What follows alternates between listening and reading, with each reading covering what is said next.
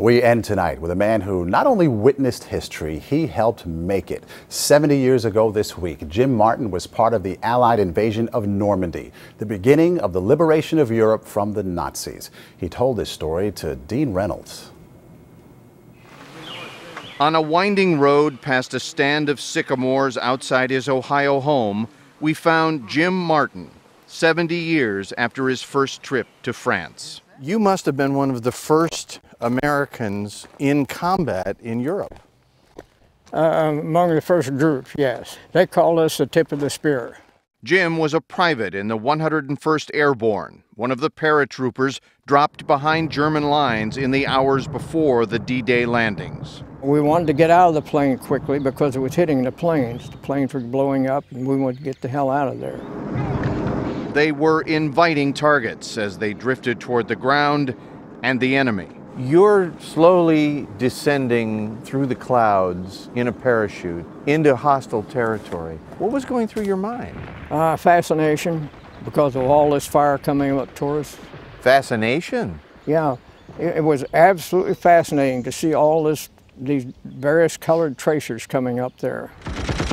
Their mission was to keep the Germans from reinforcing their troops on the dunes.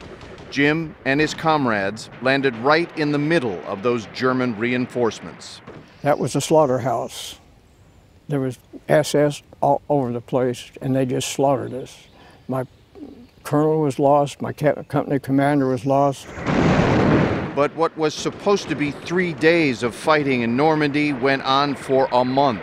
That's the way we were trained. We accepted that. And no matter how many people are there against you, what the odds are, doesn't matter. We're going to win. Jim went from Normandy to fight in Holland, where he was wounded, from Holland to the Battle of the Bulge in Belgium, and from Belgium to Berchtesgaden, Germany, Adolf Hitler's retreat in the Bavarian Alps. Did you ever think you were going to die? Sure, every day. How do you get over that? You just have to accept it. If you're going to worry about dying all the time, you can't fight. Jim is 93 now, one of the few left who can talk firsthand of a time when he says right was right and wrong was wrong and everyone knew the difference. And here's the best part. This week, he's going back to Normandy, where he intends to parachute, yes, parachute, onto the same soil he touched seven decades ago.